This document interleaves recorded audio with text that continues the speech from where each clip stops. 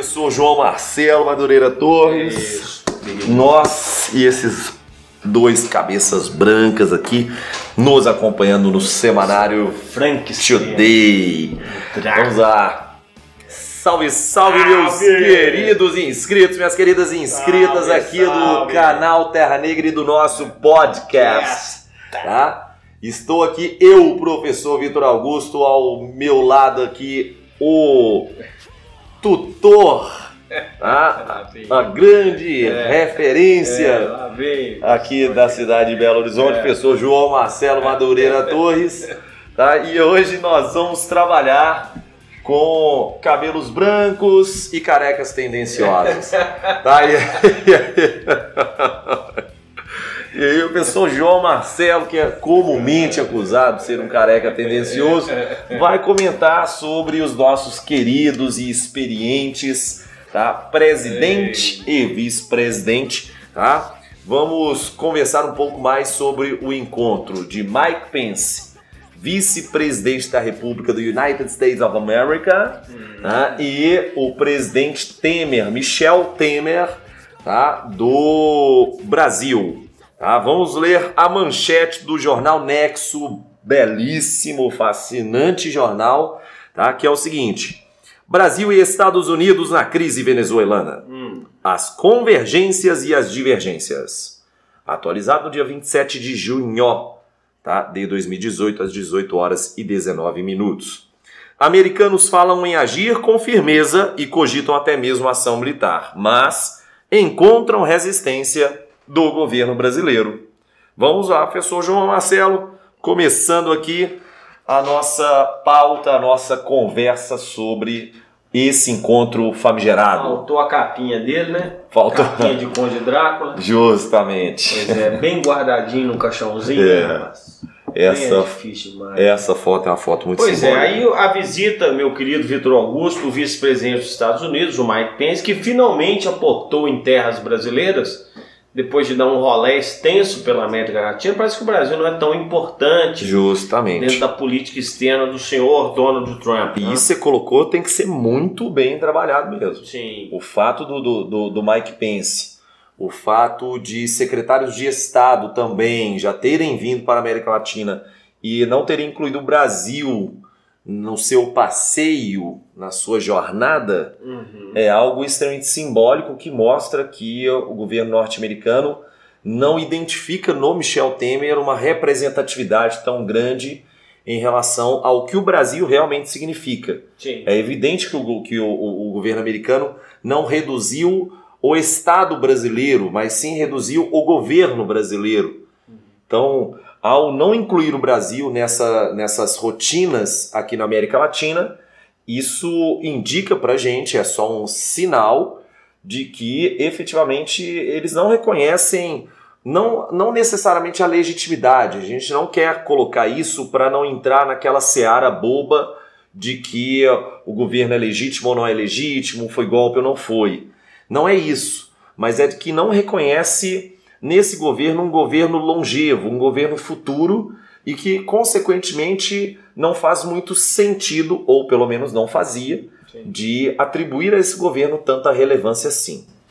É verdade, meu querido Vitor Augusto, e na sua visita, o senhor Mike Pence, é uma visita que ele fez a Brasília na terça-feira 26, com três pontos fortes né, na discussão, no encontro aí do Pence com o nosso queridíssimo Michel Temer, né, para falar outra coisa.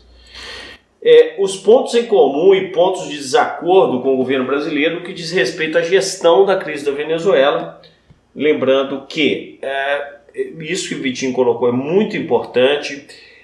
o Brasil é, é, não pode se desprezar a figura do Brasil como um grande interlocutor da América Latina. Eu poderia colocar no passado, né? Foi um grande interlocutor, mas os Estados Unidos querendo chamar o Brasil novamente para essa posição, já que o Brasil está inserido nessa questão da crise venezuelana, pois é um país que faz limite com a Venezuela, que tem um, acordos comerciais importantes. A Venezuela, ainda que temporariamente suspensa do Mercosul, é um membro do Mercosul e o Brasil recebendo refugiados venezuelanos. Né? E no outro ponto, discutiu-se a parceria na área espacial para o uso da base militar de Alcântara, meu querido Vitor Augusto. Justo. A eterna base militar de Alcântara. Nossa, Isso levanta novamente todas aquelas teorias da conspiração, porque é, essa é uma questão discutida há muito tempo, né?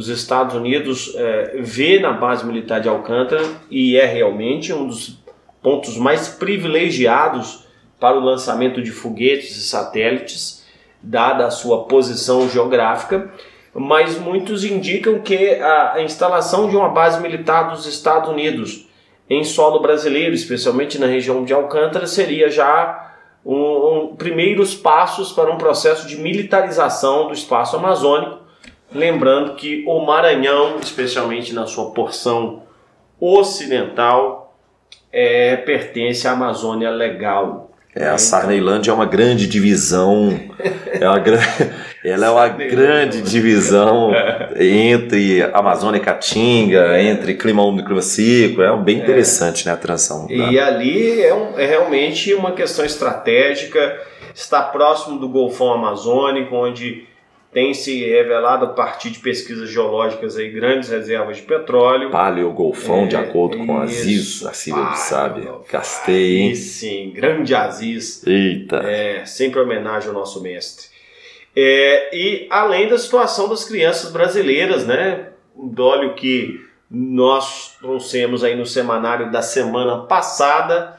É, as crianças brasileiras detidas nos Estados Unidos, juntamente aos seus pais, imigrantes sem papéis. É, inclusive, o, o governo brasileiro chegou até, tá? Eu estou deixando aqui porque a gente está ao vivo, professor João Marcelo, no Insta, tá? Professor Vitor é, Augusto, só é, o meu, minha bateria que está acabando. Ah, tá, tá ótimo. E é o seguinte, a, a, o governo brasileiro deixou, inclusive, à disposição do governo americano alguns aviões para poder fazer essa transição, para poder fazer essa deportação, professor João Marcelo, o que é muito importante. Então, o que o João colocou aqui para vocês foi o seguinte: nós temos três tópicos extremamente relevantes em relação ao encontro do vice-presidente dos Estados Unidos com o presidente do Brasil, então Mike Pence e o Michel Temer. Primeiro ponto, tá? O, a a gestão em relação a essa questão migratória da Venezuela. E vale a pena lembrar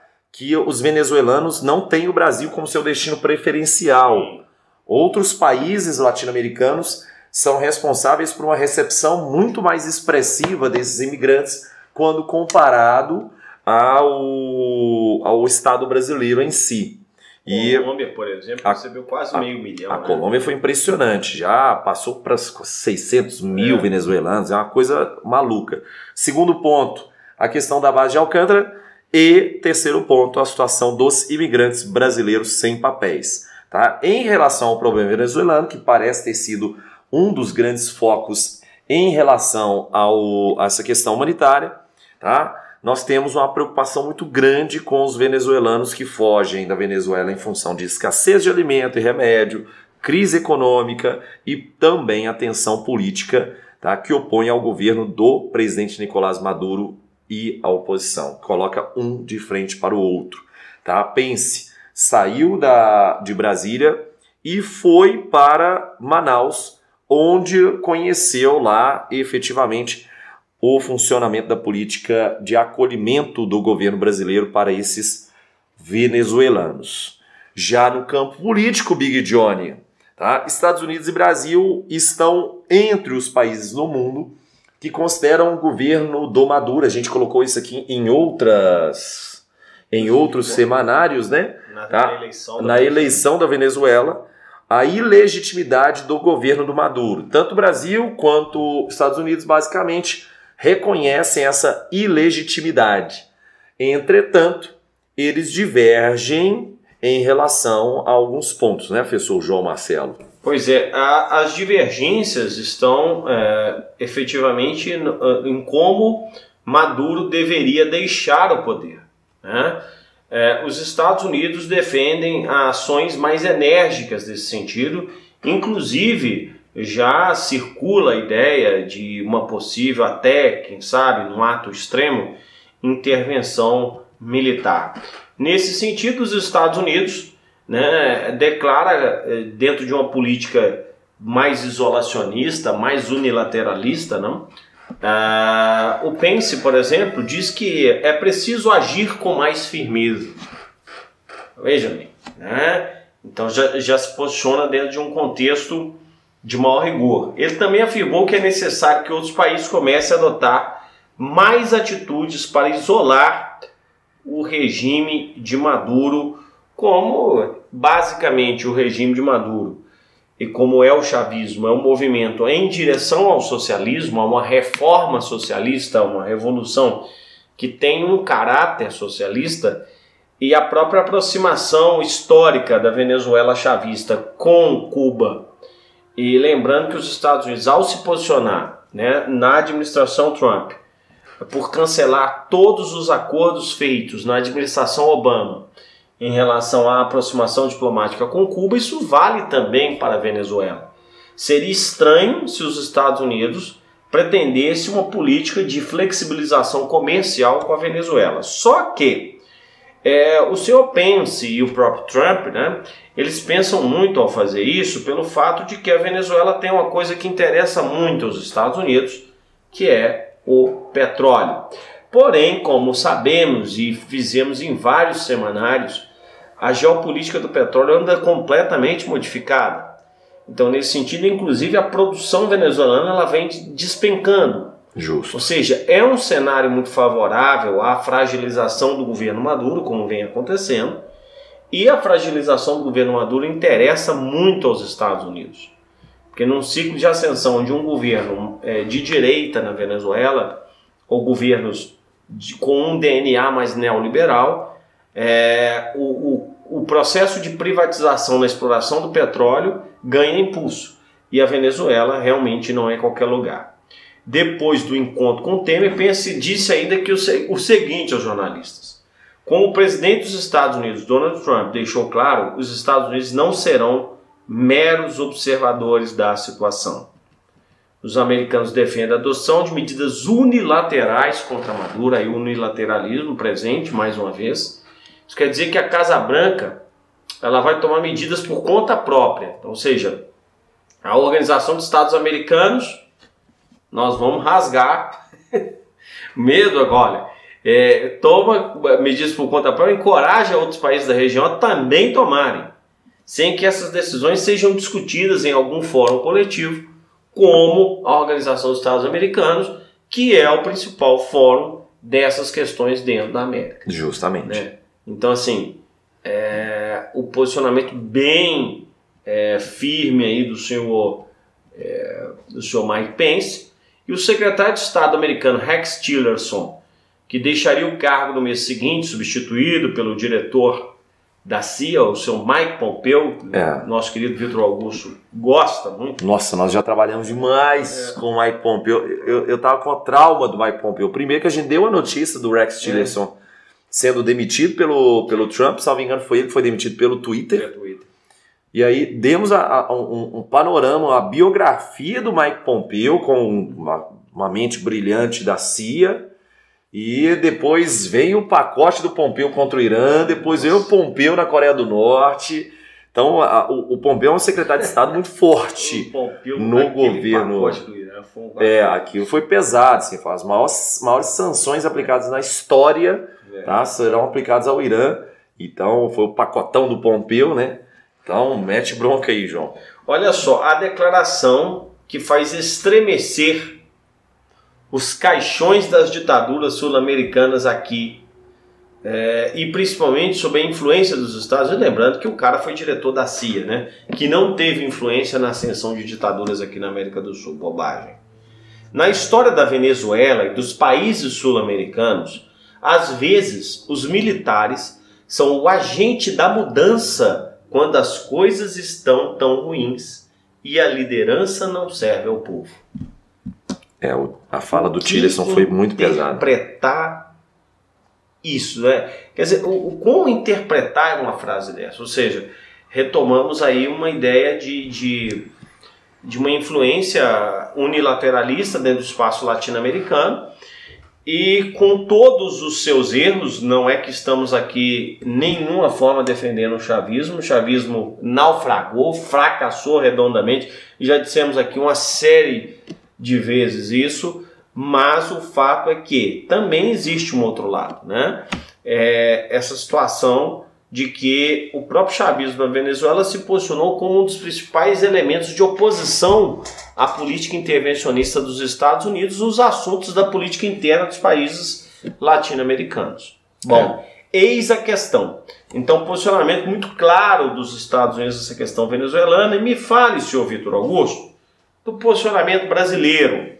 Então, é, é, é bem interessante que essa, essa proposta de a aproximação do, do, do, Estado brasileiro com o Estado americano, mas ao mesmo tempo do governo brasileiro com o governo americano, e ao mesmo tempo se tem uma separação em alguns vieses aqui, como por exemplo a defesa do Brasil em relação ao multilateralismo, né? principalmente nesses tópicos que se referem a essa gestão coletiva dos assuntos de interesse internacional aqui para a América Latina. Se a gente pensar é um contraponto ao unilateralismo proposto pelo governo Trump. As relações externas do Trump são sempre muito impositivas, são sempre muito diretas. Alguns dizem, alguns analistas internacionais gostam de criticar esse tipo de decisão tá? como não sendo a decisão mais sábia. E aí a postura do Brasil é que o Brasil não aceitaria sanções, de acordo com o nosso ministro das Relações Exteriores, que é o Aloysio Nunes, tá? em relação a essas medidas que buscam castigar membros do governo venezuelano, congelando bens e impedindo viagens internacionais. Abrindo aspas para o próprio Aloysio Nunes, tá? para nós, o tema da Venezuela está colocado onde deveria, na Organização dos Estados Americanos. Nós somos contra decisões unilaterais. Então, é uma postura em relação a essa política externa muito mais compatível com o diálogo muito mais interessante nas relações exteriores quando comparada a essa política mais unilateral proposta pelo Estado americano.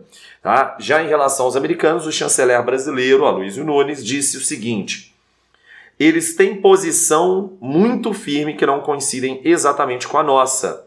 Por fim, avisou que o governo brasileiro vai até onde quiser ir isso é interessante porque a gente remonta uma série de decisões nas últimas décadas, principalmente na última década do, do governo brasileiro, dos vários governos brasileiros, de uma relativa estabilidade e principalmente o termo que eu queria e acabei de encontrar na cabeça é a soberania brasileira. Tem. O Brasil finalmente tem você pode falar isso com todas as, as, as palavras, necessariamente tem muita soberania sobre a sua política externa, sim. sim. Tá? E eu acredito que essa soberania, João, ela tenha tido seu, o seu principal, a sua principal força motriz, a sua principal centelha lá atrás com o Celso Amorim. O Celso Amorim foi uma das figuras mais importantes na, nessa política externa do Brasil e que deu, garantiu muita força para essas políticas externas brasileiras em relação à soberania, inclusive contra a própria Organização dos Estados Americanos em alguns contextos, por exemplo, como a Constituição de Belo Monte. Sim. E o, essa colocação do Aloysio, do Aloysio Nunes foi muito interessante e eu parabenizo muito o governo brasileiro em função dessa posição, desse posicionamento. Inclusive, historicamente, né, Vitor, a, a ideia da diplomacia brasileira foi sempre a defesa do multilateralismo. Né? Em alguns momentos a gente fez rupturas, principalmente no período militar, mas é, historicamente a diplomacia brasileira ela foi sempre muito exaltada como aquela que busca o consenso diplomático, a, o fortalecimento das instituições multilaterais, como deve ser aí as regras fundamentais do direito internacional. Então, realmente é uma posição muito interessante. E aí o lado da Venezuela nessa história, né? O que dizem aí, o que diz principalmente o governo venezuelano, né? O Fundo Monetário Internacional, famigerado FMI, é. o senhor Vitor Augusto tem depósitos no FMI da ordem de 25 bilhões. Justamente. É, afirma que a Venezuela deve fechar em 2018 com a queda, observem isso, hein? Queda, variação negativa de 15% do PIB Isso é uma tragédia econômica. Isso é tragédia. Tragédia. É, é a palavra que eu tenho. Assim. Só manchete de jornal, tragédia econômica. Uhum. Variação de 15% do PIB de um ano para outro, uma tragédia. E isso é para É. 2018. Você imagina se você acumular 2017, 16, 15, por aí é uma vai. situação im- impressionante no quinto ano seguido de contração, então cinco anos de recessão brutal, com a inflação que já alcança, já é a maior do mundo, com 13.864% ao ano. Então, quer dizer, os caras não têm mais moeda. Não, acabou. É, então é, é uma situação de fundo de poço. O país está falido do ponto de vista econômico. Justo. né? As organizações de direitos humanos acusam Maduro no Tribunal Penal Internacional tá? De cometer crimes contra a humanidade ao reprimir manifestações, prender e torturar dissidentes políticos, ou seja, DNA de governos autoritários, concentração de poder, repressão, tortura. Né? Então, realmente, é, o, o lado obscuro desse sistema de governo que foi é, endurecido pelo Nicolás Maduro. É, e aí o governo vene- venezuelano, por sua vez, diz que é vítima da oposição, incapaz de vencer, que a oposição não vence as eleições, e aí a, a oposição sistematicamente tenta é, aplicar um golpe de Estado. Lembrando que a oposição conseguiu aplicar um mini golpe de Estado em 2002 né, contra o Chaves. O Chaves é, foi deposto, mas semanas depois retorna ao poder nos braços do povo. Aí com mais, com mais É. força ainda. É um governo que, de certa forma, tem um apoio popular. É, poder, e, e realmente, eleições fraudulentas, manipuladas, mas não chegaram ao poder através de golpe de Estado. Então, a gente tem que saber separar essas questões, né? E nesse sentido, as declarações, e antes que as pessoas destilem chorume aí nos comentários, é, não, não, não chegou mesmo ao, por golpe de Estado. Basta ver que são, ele- são organizadas eleições. Uma Inclu- co- é- inclusive, João, a gente chegou a citar, a colocar no semanário aqui Sim, as irregularidades sim. da, das eleições venezuelanas. A gente não está, em hipótese alguma, falando que as eleições foram idôneas, foram isentas de fraudes. Não, nós falamos sobre eleições da Venezuela, falamos sobre eleições na Rússia, Sim. falamos sobre problemas em relação à democracia iraniana. Enfim, nós criticamos todos os países que tiveram problemas em relação às suas eleições aí. Tem que ser criticado, é um governo que merece crítica, mas é saber separar as coisas, né? É não distribuir fake news por aí, né? Porque não se trata de implantação de, de, de um governo ditatorial no aspecto do golpe de Estado. Então, uma ditadura, ela, ela se mantém no poder através, aí sim, de um, de um processo autoritário, de concentração de poder político, de, de coibição de liberdade de expressão, isso tudo o governo de Maduro pode ser acusado. Então, a Venezuela está no fundo do poço. Essa é, é- é- esse é o resumo da ópera.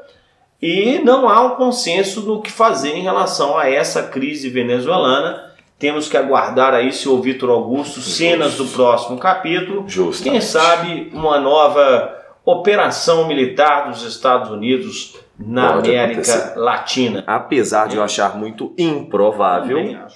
Né? Também Ah, acho que é uma vamos- bravata absurda. Justamente. Aguardemos cenas dos próximos capítulos, até porque quem falou sobre, a- sobre apoio a, a governos militares, a um golpe, a um golpe ditatorial ali na região, foi o Rex Tillerson, que já está longe do, do como secretário de Estado, Sim. foi demitido, foi outra parada.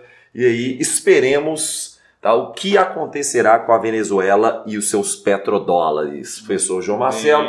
Agora a gente sai para começar um novo quadro, inclusive a gente queria Ah, o feedback de vocês. Todas as semanas nós passamos aqui dois, três, quatro destaques um pouco maiores, tá? Mas a gente gostaria bastante de trabalhar com as outras notícias que a gente faz também, que a gente lê também.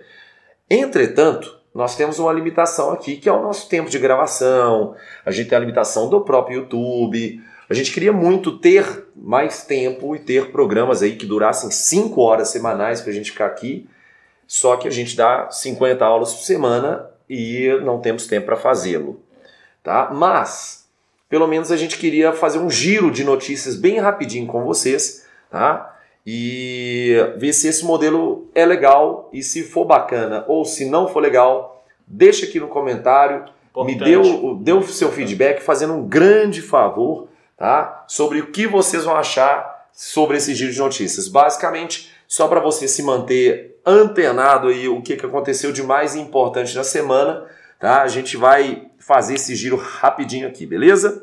Vamos lá, primeira notícia, professor João Marcelo, eu vou, vou trabalhar essa notícia aqui. Ó. O Canadá aprovou a legalização do consumo recreativo da maconha. Adultos poderão portar e dividir 30 gramas, tá? cultivar até quatro plantas em casa e fazer preparados para uso pessoal. Esses preparados devem ser bolo, né? Brownie de maconha, essas coisas. Viagem do seu Vitrol. Isso. O país é o segundo a legalizar e o primeiro foi o Uruguai. E essa foi a notícia do blog Outras Palavras, professor João Marcelo. É, e lá na Espanha abre caminho para regular a eutanásia e equiparar a licença paternidade maiores de idade com doença grave e incurável e os incapacitados graves crônicos poderão receber ajuda do sistema público para morrer caso a medida passe, medida polêmica, né? Mais um país regulando aí questões como o aborto, no caso da Argentina, no caso da Irlanda, Agora a questão da, da eutanásia na Espanha, essa é uma notícia do El País. E essa também vai ser uma, uma discussão, uma problemática colocada na corrida presidencial, definitivamente. É. Talvez não a eutanásia, porque o, o Brasil ainda está longe de refletir sobre isso. Se o aborto é um tabu no Brasil, você imagina a eutanásia. Hum. Tá? Então, aborto é tabu, suicídio é tabu. A gente precisa avançar muito na nossa sociedade para colocar a eutanásia como tabu. A eutanásia hoje está até fora de discussão. Tá? O encontro inédito. O governo russo informou ontem que pretende anunciar em breve o local e a data de um encontro inédito entre o presidente Nossa. da Rússia, Vladimir Putin, e Donald Trump. Há pouco, há pouco mais de um mês, o presidente dos Estados Unidos se reuniu em Singapura com o líder norte-coreano Kim Jong-un. Tá? E essa notícia foi veiculada pelo Estadão.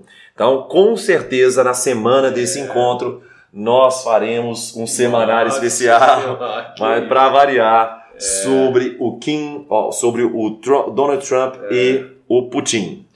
Aí, um dos, nove, um dos nove ministros que compõem a Suprema Corte Americana, o Anthony Kennedy, de 81 anos, anunciou ontem a sua aposentadoria. Olha só, 81 anos está se aposentando. Cara que realmente usufruiu do trabalho. Né? Justo. Caberá a Donald Trump indicar um substituto que precisa ser validado pelo Senado. A expectativa é que seja nomeado um juiz de perfil conservador em comparação com Kennedy, tido como moderado. É a notícia da Folha, ou seja, nada que não possa ser piorado. Justamente. Né, nas questões aí de política é, interna dos Estados Unidos. Perfeito. Formada por cinco ministros, a segunda turma do Supremo Tribunal Federal decidiu ontem soltar José Dirceu, condenado em segunda instância na Lava Jato pelos crimes de corrupção e lavagem de dinheiro. Preso desde maio, o ex-ministro da Casa Civil poderá aguardar em liberdade até que um de seus recursos seja julgado pelo próprio tribunal. E é a notícia do portal J, bem interessante portal que problematiza essas questões políticas no Brasil. Lá vai mais uma vez o Dirceu. A situação de Dirceu guarda semelhanças com a de Luiz Inácio Lula da Silva. Os dois petistas estão condenados em segunda instância pelos mesmos crimes e buscaram a liberdade até, os até que os tribunais superiores julgassem seus recursos finais. Mas o ex-presidente não teve até aqui o mesmo destino do ex-ministro é a manchete do O Globo. É, lembrando, a situação do Lula ainda realmente é muito diferente do Disseu. A prisão mantida, os direitos políticos ainda anulados e apesar da campanha tá aí em vento e popa, né? Continuando, professor João Marcelo, Sim. a Suprema Corte dos Estados Unidos considerou constitucional o decreto do presidente Donald Trump que proíbe a entrada de imigrantes em um grupo de países, de um grupo de países específico, né? Que é o, são os países de maioria muçulmana nos Estados Unidos. O decreto restringe o acesso de pessoas vindas do Irã, Líbia, Síria, Iêmen, Somália, Venezuela e Coreia do Norte. E o artigo foi publicado pela Folha. Lembrando que esse foi um dos uma das primeiras propostas do Donald Trump, ainda quando ele se iniciou o seu cargo de presidente da República. Então é isto, senhor Vitor Augusto. O parlamento britânico aprovou ontem um texto que havia sido apresentado em julho de 2017 pela primeira-ministra Theresa May para organizar o desligamento do Reino Unido da União Europeia, chamado Brexit. O texto estipula o dia 29 de março de 2019, anote na sua agenda, senhor Vitor Augusto, para Justo. irmos a Londres, Justo. como limite para a saída do bloco. É, essa é uma manchete do Estadão comprovando que o processo de desligamento ele tem que seguir uma série de trâmites, por isso que ele ocorre em etapas, né? Inclusive com um processo de indenização financeira por parte do Reino Unido à União Europeia. Então é um processo muito simples, não. Justamente. Quem insiste em realizar deslocamentos por transporte individual deveria ajudar a pagar a conta do coletivo. Leia mais no ensaio de Rachel Biederman e Luiz Antônio Lindau, da organização WRI Brasil, notícia do Nexo. Uma reportagem bem interessante e dados possíveis, plausíveis investimentos em transporte público, a gasolina ficaria mais cara para baixar o preço do diesel. Você tendo um transporte público de qualidade, faz sentido, é uma proposta em relação ao planejamento urbano. Em, é, como é que é? Quem insiste em realizar. Não, eu, olha, eu, atrapalhado aqui, passa. Em outubro, os eleitores brasileiros escolhem também os chefes dos governos estaduais. Por se tratar de um federalismo, os governadores têm um papel importante no poder administrativo do país. O Politiquês dessa semana explica o que é federalismo e como funciona o nosso modelo. Está aí no Nexo também, importantíssimo, viu?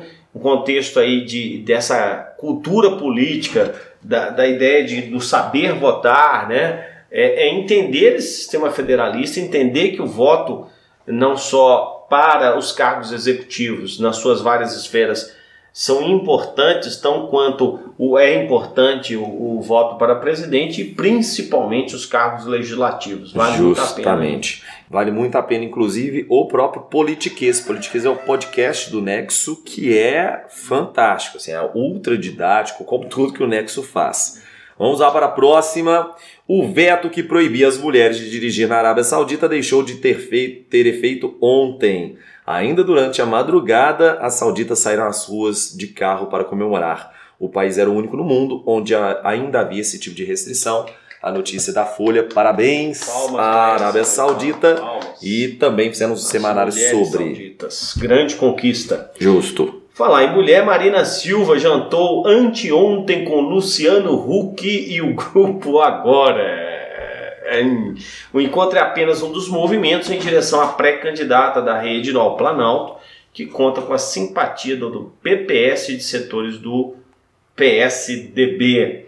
Então, a eterna candidata Marina Silva é a notícia do Nexo, senhor Vitor Augusto. Justo. A Petrobras perdeu ontem a maior ação trabalhista que já enfrentou. Decisão do Tribunal Superior do Trabalho por 13 votos a 12. Apertada a decisão determina o pagamento de 15,2 bilhões de reais a funcionários que questionaram a política de remuneração de 2007 e ainda eleva em 2 bilhões de reais por ano a folha da companhia. A Petrobras vai recorrer e a notícia é do O Globo. Carmen Lúcia anunciou ontem que vai arquivar o procedimento que apurava as citações a ministros do Supremo feitas em conversas entre o empresário Joesley Batista, o sócio da JBS, e o lobista do frigorífico Ricardo Saúde. A presidente do tribunal afirmou não haver indícios de ilegalidade contra os colegas. Mexeira corporativismo, esse senhor Vitor Augusto, é a notícia do Estadão. Justamente. Agora, para a gente finalizar os dois tópicos do, das queridas tá? do Mamilos, do nosso Isso, podcast de coração, que é o seguinte. Não é doença. A Organização Mundial de Saúde retirou a transexualidade da categoria de distúrbios mentais na classificação internacional de doenças, a CID tá? Mas não totalmente. Ela foi movida para a categoria de condição relativa à saúde sexual. O raciocínio é que, embora as evidências agora estejam claras de que não se trata de um transtorno mental, e de fato classificá-lo pode causar enorme estigma para as pessoas transgêneros, ainda há necessidades significativas de cuidados de saúde que podem ser melhor atendidos se a condição for codificada na CID, diz a Organização Mundial de Saúde. A atualização acontece mais de 40 anos depois de a homossexualidade também ser retirada da lista. Muito bom, né? É outra notícia Outra, que merece o nosso outra, aqui, aplauso ó. aqui. Palmas para É, você. É um avanço na legislação, sempre muito importante. Justamente. né? Então, senhor Vitor Augusto, nós temos aí a maré da violência, olha aí, mais uma vez. Marcos Vinícius tinha 14 anos quando foi baleado a caminho da escola, era isso, cara, no complexo da Maré. Antes de morrer, disse à mãe que o tiro partiu de um blindado da polícia. Moradores contam que as operações ganharam uma novidade. Agora os policiais também disparam de helicóptero batizado de Caveirão Voador. A morte do garoto ocorreu durante uma operação envolvendo 120 homens com 23 mandados de prisão nas mãos. A incursão deixou sete mortos. Nenhum dos mandados foi cumprido. Os outros seis mortos eram suspeitos, segundo definição da polícia. Laudo aponta para que Marcos Vinícius aponta que Marcos Vinícius foi atingido pelas costas. Aí a notícia do Mamilos. né? É, então deixamos aí o nosso semanário final. Eu coloquei essa notícia triste pro final ainda. Caramba. Então nós encerramos aí o nosso segundo semanário 18. 18. Tá? E vamos para o próximo, também extremamente importante. Amanhã problematizaremos a nova eleição agora do Recep Tayyip Erdogan, Isso. tá? Lá na Turquia. Então aguardamos todos vocês amanhã também nesse mesmo bate-horário, nesse mesmo bate-canal. Não deixe de conhecer o nosso programa de apoiadores, o apoia.se barra Terra Negra, deixar o seu joinha ou o seu dislike, deixar no comentário aqui se você gostou do nosso giro de notícias, da nossa rodada de notícias. Um grande abraço a todos vocês. Tchau, tchau. Não deixe de se Tchau, inscrever tchau. no canal. Um grande abraço. Tchau, tchau.